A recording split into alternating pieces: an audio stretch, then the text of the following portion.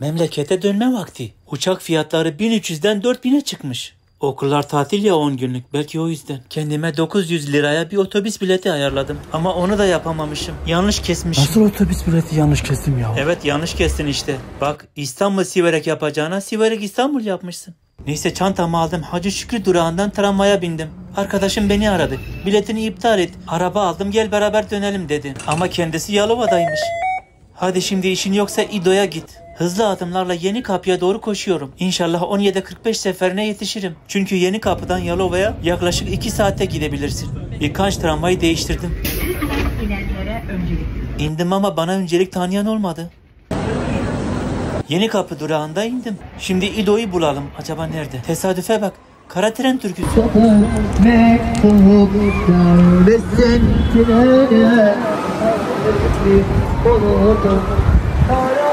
Ama ben trene değil de vapura biniyorum. Bu arada saat 17.42.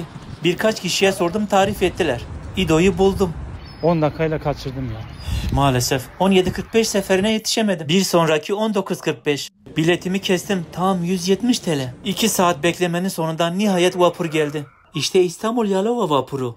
Gemi çok uzun. 2 dakika sonra anca yukarı çıkabildim. Gerçekten de içi çok lüks. Bana göre çok lüks yani. Dedim şöyle bir deniz havası alayım. Arabaların arasından biraz denize baktım tabi. Gece gece manzara güzel değildi ama olsun. Neyse kahvemi aldım yudumluyorum. Bu 40 TL. Yaklaşık 2 saat sonra vapurdan indim. Arkadaşım beni vapurdan aldı. Beni Yalova'da gezdirecek sandım. Öyle de oldu. 45 saniye sonra yola devam ettik.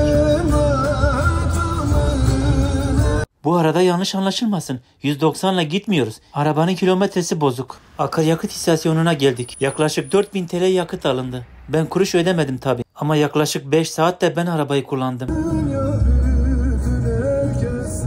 Akşam 9'da Yalova'dan çıkmıştık. Sabah 7'de Şanlıurfa'ya vardık. Otobüsten daha hızlı geldik ama gerçekten çok yoruluyor insan. Ve nihayet Şanlıurfa GAP Havalimanı'na geldik. Onlar beni orada bıraktı gittiler. Ve şimdi Toros zamanı. Otoparkta Toros'umu aradım. Onu bulmak zor olmadı. Nerede olsa tanırım. Önce halini hatırını sordum.